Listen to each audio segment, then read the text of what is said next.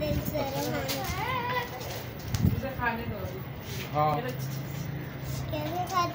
हाँ सही बात है लेकिन ये तो आएगा ना ज़्यादा ऑर्डर भी होगा फायदा हाँ।